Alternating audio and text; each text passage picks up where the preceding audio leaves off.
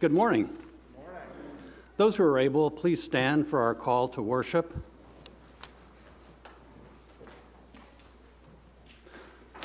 Come gather in the presence of Christ, who is our friend and healer. We are here, and in our worship, we yearn for hope and comfort. Let us reach out to the heart of Jesus, who is our life. We encounter our Lord, who makes us whole. Here we are welcome and loved and cherished. Here we are, the people of God. Let us worship God.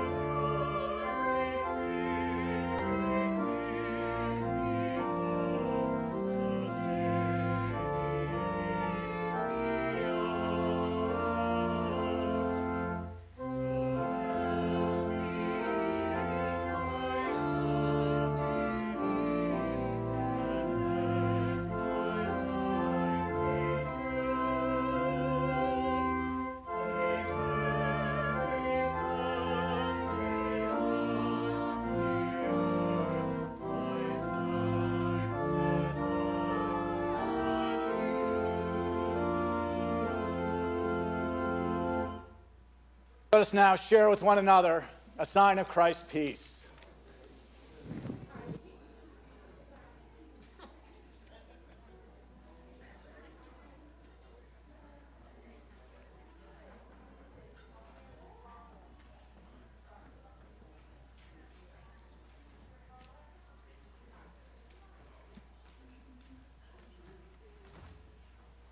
Yes, and you are welcome to be seated as you've had an opportunity to share the love and fellowship of Jesus with one another.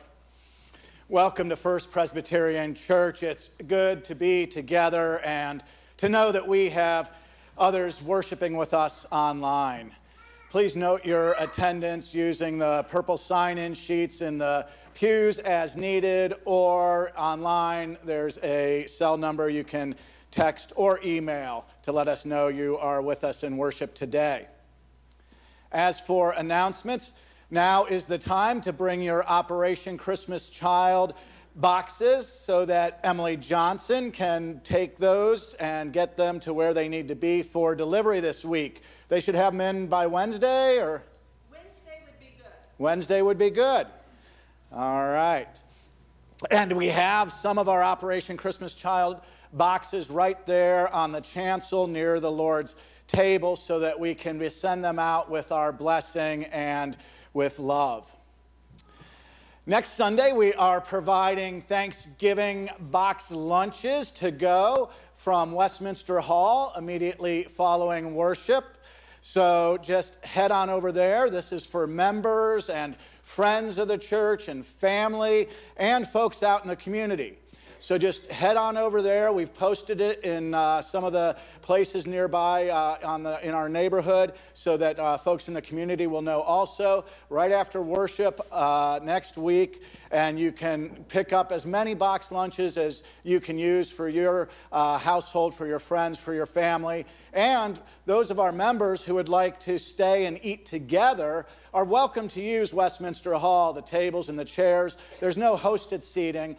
But um, you're welcome to do that. Um, just we're not inviting in the whole community this year for obvious reasons. Um, next Sunday is also when we begin decorating the church for the holiday season. Again, right after worship or right after your box lunch uh, dinner.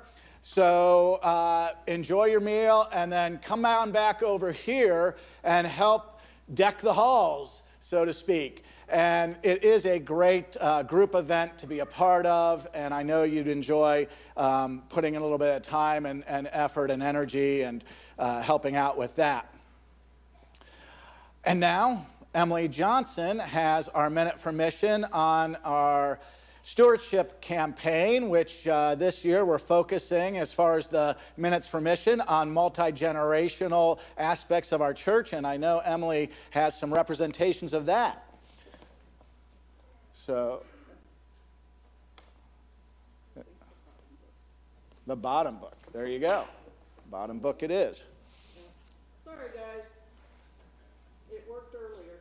Of course. It's okay. I'll hold your place until you get set up. Thank you. I'll sit here and look important, but uh, I'm not, so don't worry about that. Yes, he is. No, I'm not. Okay. All right.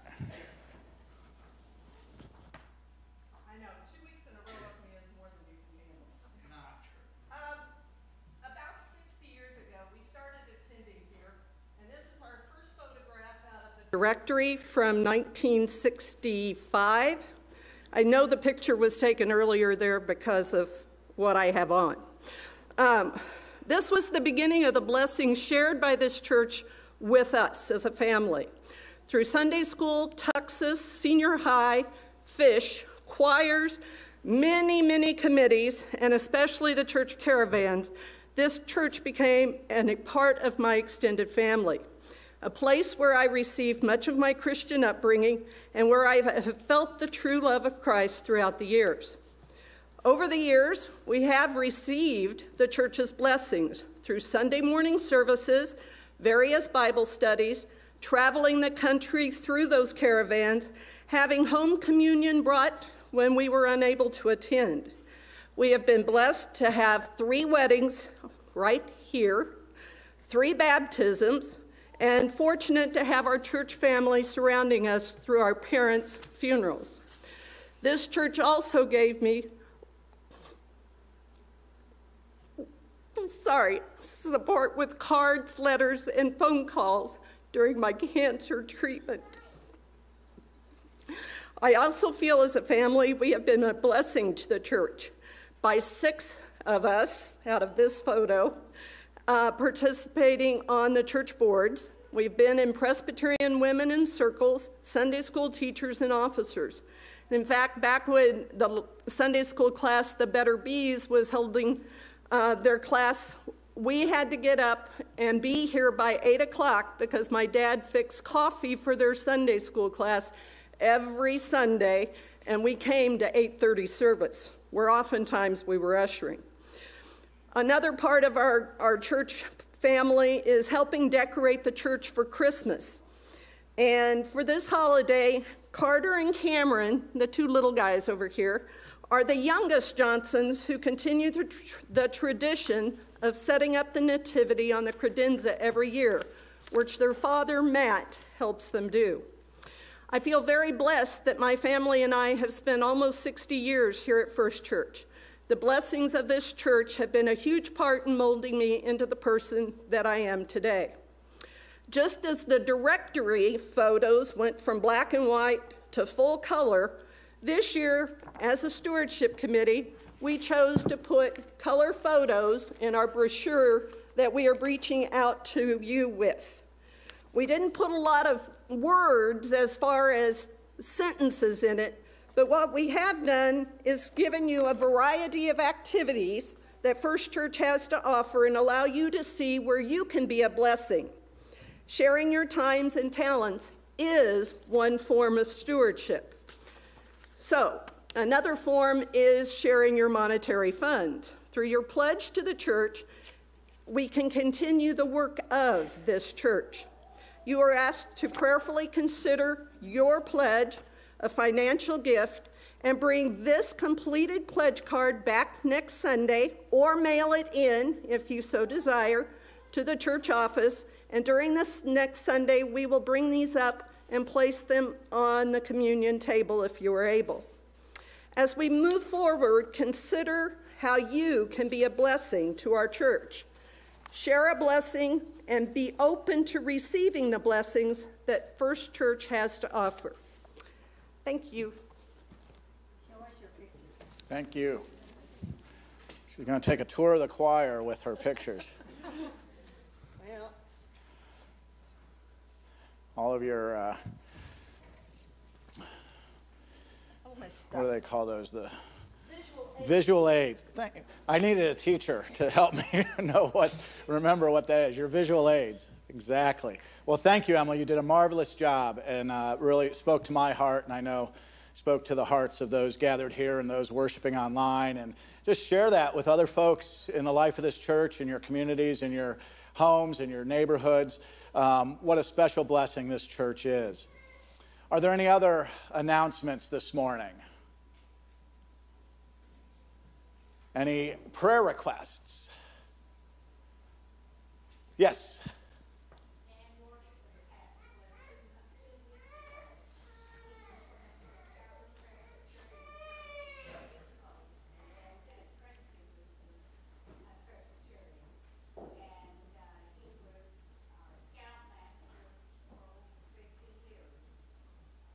he called all the young leaders, thanks, and he called all the scouts that are my young men today.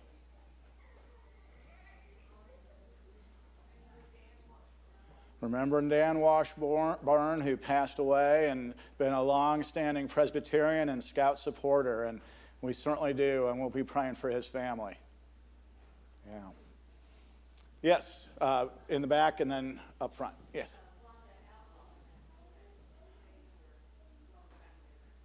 Wanda Outlaw also passed away. Okay, well, we'll be uh, keeping Wanda's family in our prayers. Yes, Ronnie.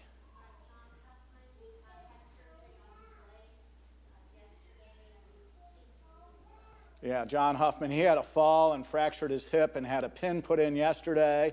Um, he's still in the hospital, maybe a few more days, but is doing well, and we are thankful for that. And we'll be praying for him and for Sandra Drakovich, who has been his uh, companion and helper. Yeah. Well, if there are no other prayer requests, let us join our hearts and minds in our morning prayer. Gracious God, giver of all things, as hard as it may be for us to accept, we know deep down that nothing we have is truly our own. Everything we possess is on loan from you, a, a, trust that we take care of as well as we can. Help us to look beyond what we would like to get and to see what we would like to be able to give. Help us use our time and talents to share with others the treasure of generosity and compassion and love creating a legacy of people who have come to praise you because through us they felt your care and provision. We pray your care and provision for those in need this day, those in financial need, those in need of healing and comfort, those in need of grace and peace. We pray for the families of Don Washburn and Wanda Outlaw, two faithful souls who have now joined you in the church triumphant. We pray especially for healing for John Huffman and strength and sense of peace for his companion Sandra. We pray for Leroy McElvey and Rob Sullivan and Leo Bray, Jennifer Rowe Rankin, Will Ratcliffe, and the Reverend J.C. Harp. And for us, Lord, we pray that you would create in us what we need most of all the faith to trust that you are able to provide for all that we truly need. Help us rely on you to take care of our earthly needs while we are taking care of the needs of others. We pray this in your sure and powerful name, using the words that you taught us, saying together, Our Father, who art in heaven, hallowed be thy name. Thy kingdom come, thy will be done, on earth as it is in heaven. Give us this day our daily bread, and forgive us our debts as we forgive our debtors. And lead us not into temptation, but deliver us from evil. For thine is the kingdom, and the power, and the glory forever. Amen.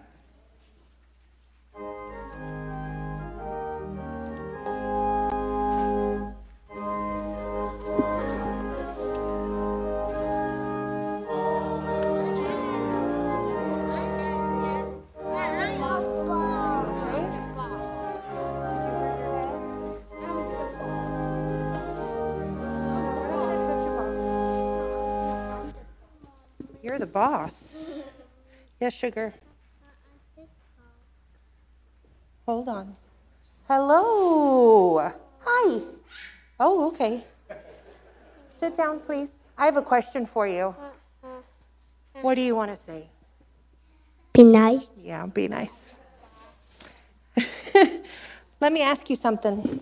I don't need this today. Are you perfect? No? Are you perfect? Yes. Yes. Maybe. Am I perfect? I don't know. Evelyn, are you perfect? You are? Is that why you're hitting your sister? Yeah. Milo, who's perfect? Jonah? Hmm. Who is perfect? Nate, who's perfect? God. God is perfect. And Jesus, yeah. So Jesus came and he was perfect, wasn't he? Have you ever tried to draw a, like a perfect picture? Or-. Or what? A rocket ship? Yeah. And there's always little mistakes, isn't there? But it still makes a beautiful picture, doesn't it? Even really great artists and musicians make mistakes sometimes, but sometimes the mistakes make them really good. Sometimes those mistakes make them look even more beautiful, don't you think? And we'd be nice, that's right. But even when Jesus came and when he was, even though he was perfect, he even cried out to God because he was afraid to die on the cross. But then, even though he was perfect, that's why we use Jesus whenever we do bad things and we sin, right? And we use Jesus so that we can get to heaven, right? What's going on here? Can we sit up? Okay. Let's pray. I love you. Can we pray? Can we pray? Mm. Okay, let's pray. Heavenly Father, thank you so much for sending your perfect and beautiful Son, Jesus Christ, to us so that we can make mistakes and that you still love us even when we make mistakes. Thank you for everything that you give us. In your name I pray. Amen. Okay, let's go.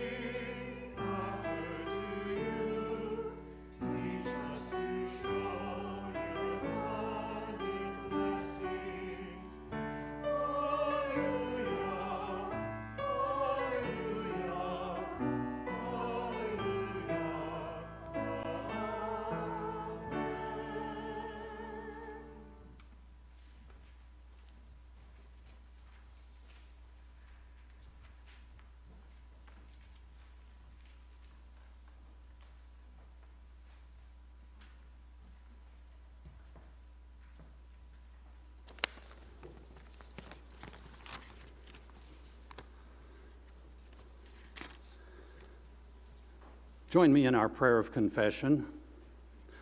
Loving God, you hold us so gently. Teach us the art of letting go of anything that keeps us from your embrace. We grab and clutch things that are often only a passing fad. We go after success and recognition as if they will fill our deepest longings. We place on our relationships unrealistic and unfair expectations. Loving God, lead us to a deeper sense of gratitude, a growing sense of trust in your ability to provide. Teach us what treasures will last. Show us the blessings of giving with joy, loving without conditions, sharing from our abundance.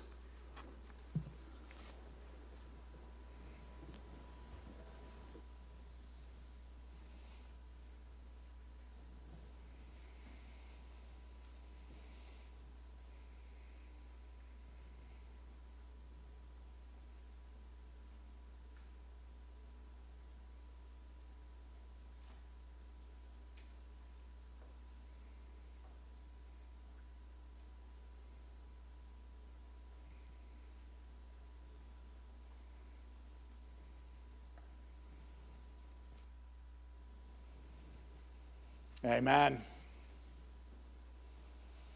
Our God is good and merciful and sets us free from our bondage to possessions and self sufficiency.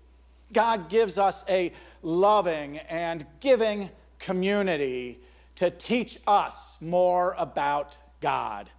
Friends, believe the good news of the gospel. In Jesus Christ, we are forgiven.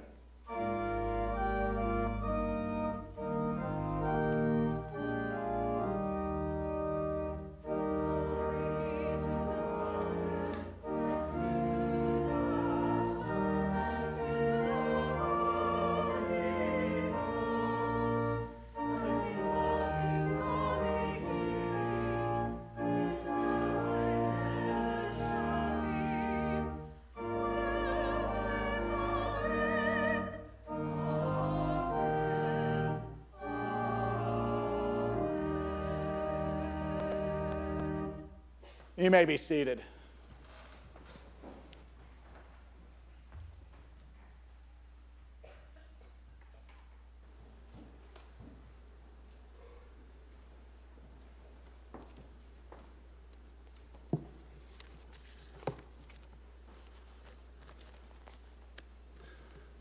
This morning's Old Testament lesson is from the book of Psalm, chapter 51, verses 15 through 19 and can be found on page 510 of your Pew Bibles again. Psalm chapter 51, verses 15 through 19. Lord, open my lips, and my mouth will declare your praise. For you have no delight in sacrifice. If I were to give a burnt offering, you would not be pleased. The sacrifice acceptable to God is a broken spirit, a broken and contrite heart. O God, you will not despise. Do good to Zion in your good pleasure. Rebuild the walls of Jerusalem. Then you will delight in right sacrifices, in burnt offerings, and whole burnt offerings. Then bulls will be offered on your altar.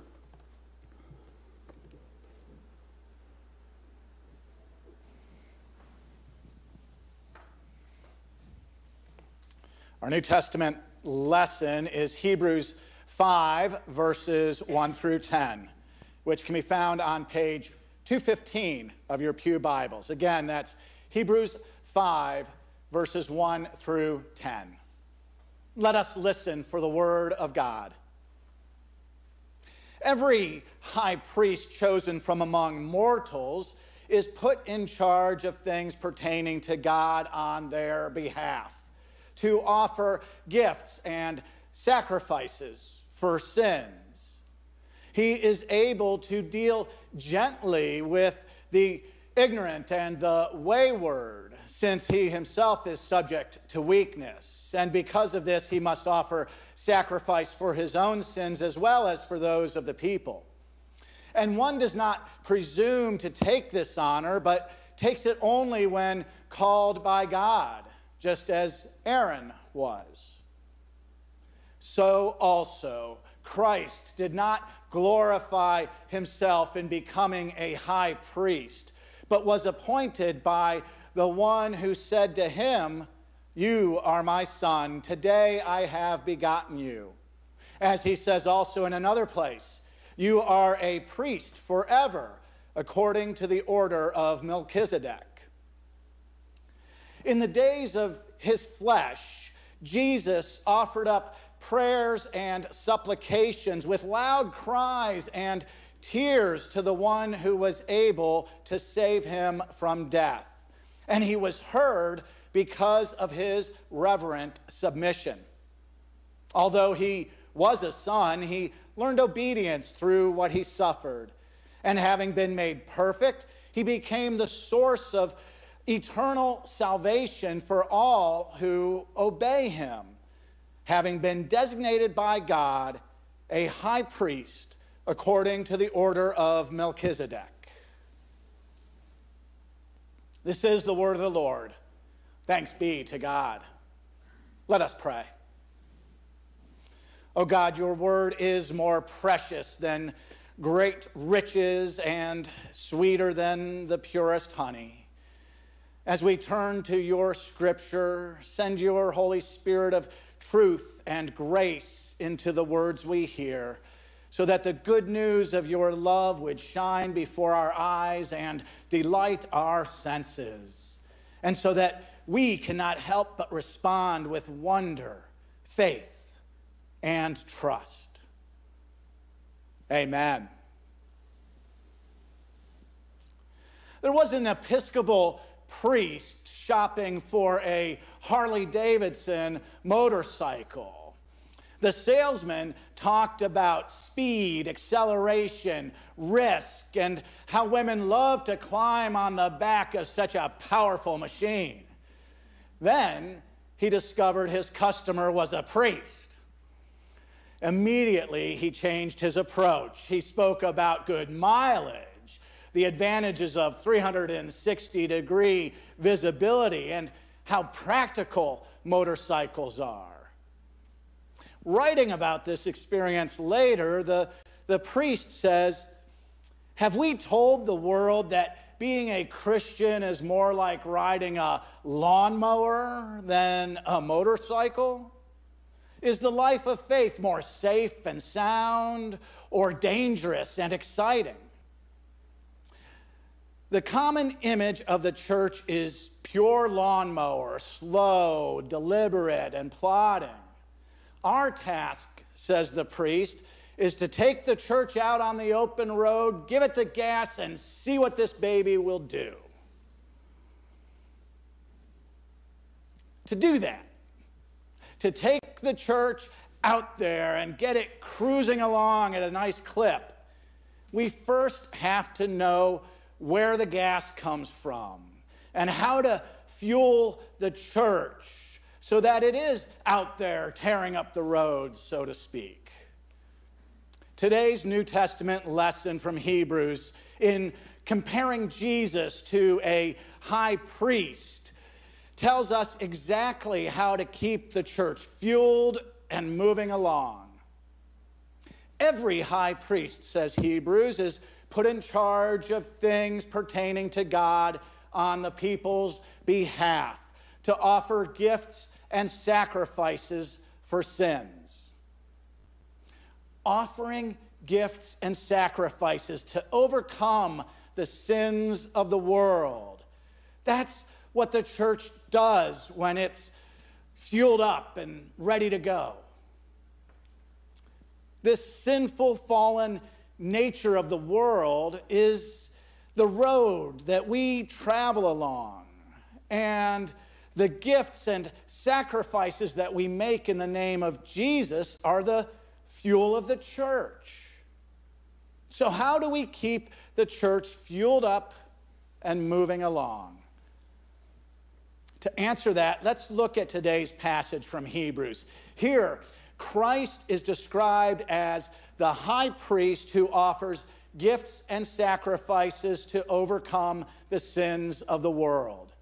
And we know that the church is the body of Christ, the hands and feet and heart of Jesus.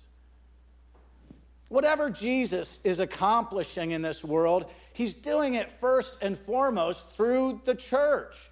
Without the church, without us as followers of Jesus, the world would not know Jesus as Lord and Savior.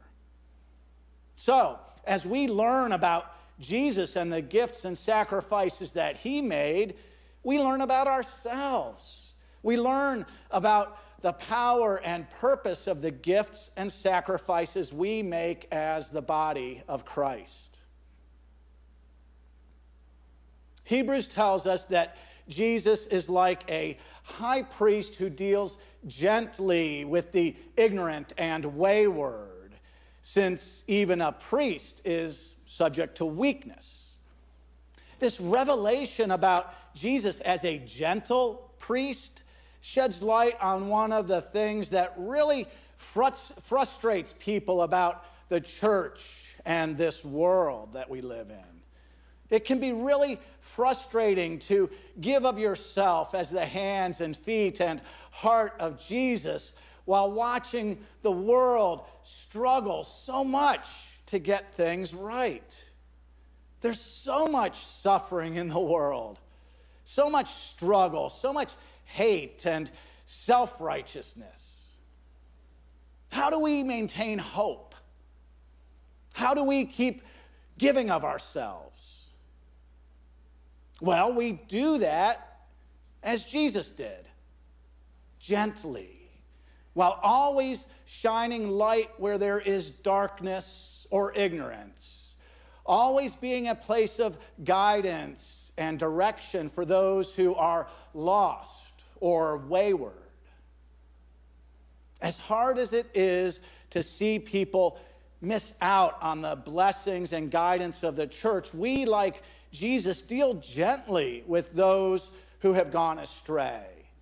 And this means that real and lasting change takes time. For instance, as the pastor of this church, I've helped countless people over the years on your behalf with financial assistance and guidance. As you might expect, some of these folks prove to be their own worst enemy when it comes to taking that next right step. But not all of them. As a church, we've helped countless people through a momentary setback, both members and folks out in the community. We have helped people to get to the next level of self sufficiency where they can really start cruising along in life and even give back in service to others. Now, in helping people help themselves, I always try to get to the source of their struggle, to create a bridge that gets them over that rough patch. That's one way that we, as the body of Christ, use the fuel of our faith, our church life, to smooth out the twists and turns that people struggle with. And yet, because the church is gracious and gentle with people, because we understand how hard life can be, we have to find a way as the church to be in it for the long haul it's not going to be a quick fix. And it seems like things are actually getting harder and harder for many people. And still, we give of ourselves through the church. We give of our time and talents and treasures. We participate in the life of the church for our sake, for the sake of others, and for the sake of the world. We do all this because we know that in Christ, God will prevail, no matter how long it might take. As Emily Johnson said in our Minute for Mission, next Sunday is Commitment Sunday, the day we bring our pledge cards and place them on the Lord's table.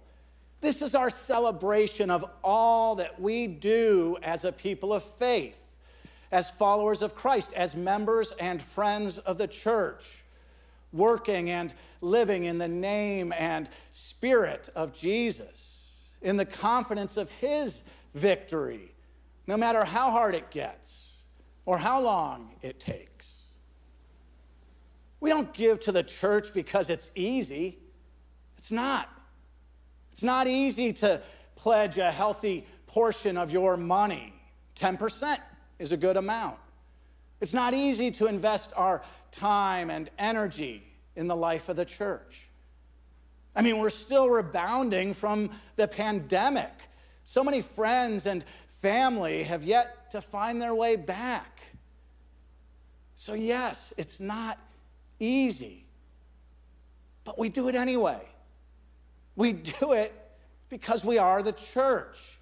And without the church, this world is lost and wayward, given over to darkness and ignorance when it comes to Jesus Christ.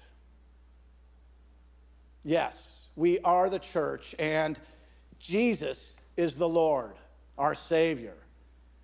So we pattern our lives on the life of Jesus. Jesus is described in Hebrews as offering up prayers with reverent submission to the will of God. As it says, in the days of his flesh, Jesus offered up prayers and supplications with loud cries and tears to the one who was able to save him. And he was heard because of his reverent submission. You can think of reverent submission as our action prayers, the things we do that give rise to the blessings of God. It's good and right to go to God in prayer for the needs of this world, the needs of our family and friends, the needs of our community and church. But then we have to put those prayers into action in whatever way we can. Hebrews says that Jesus is the source of salvation for all who obey him. This means that in order to enjoy the blessings of God, we have to follow the way of Jesus, gathering together in his name, giving of ourselves for his sake, and relying on God and his church to make the world a better place. As you prayerfully consider what you will give to the life of the church in 2022, do so with Christ like confidence in what God is doing for us and through us. Through this church and all of our ministry programs, God is blessing the world with a heartfelt expression of Jesus' care and compassion, his welcome and embrace, His guidance and wisdom. Let us all join next Sunday in celebrating this, this outpouring of Jesus and all that it means for us and for the future of this world. Amen.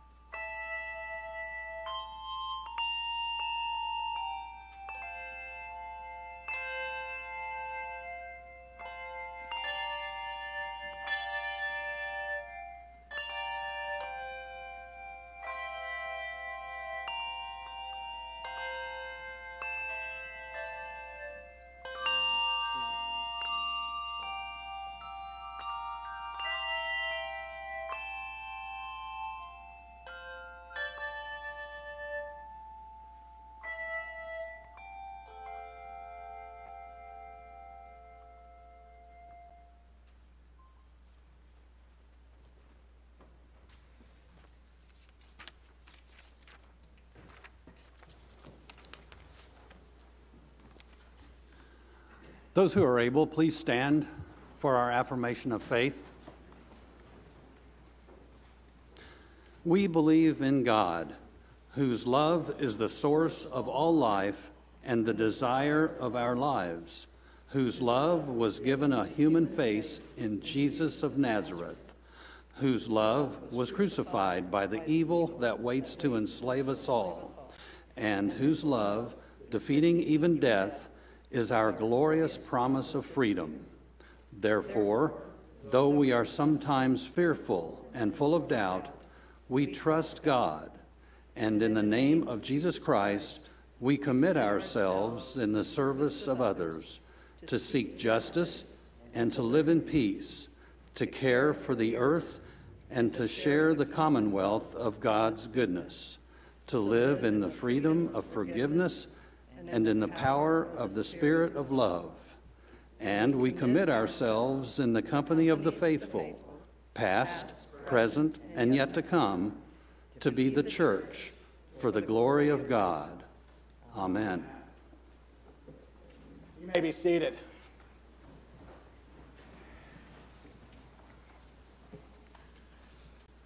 With faith, we give in gratitude and joy. With prayerfulness, we give in sacrifice and love. With hopefulness, we give in commitment to God.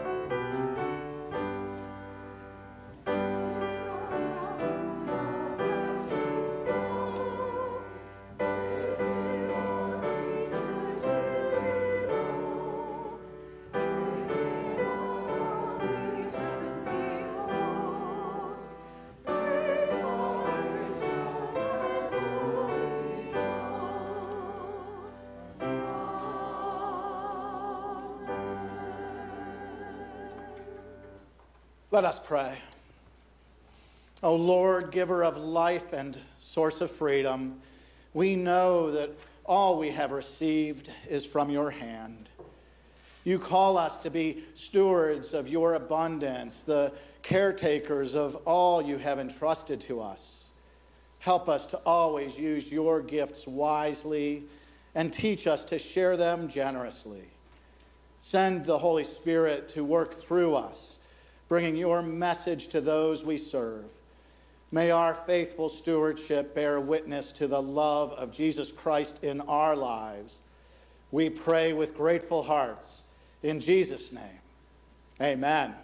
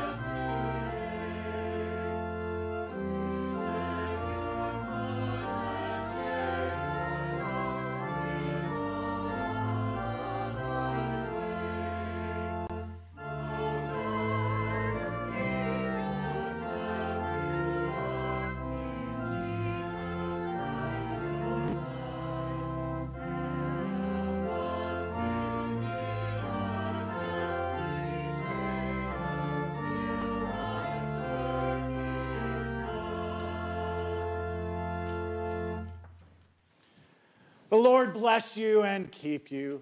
The Lord make his face to shine upon you and to be gracious to you. The Lord turn his face towards you and give you peace. Amen.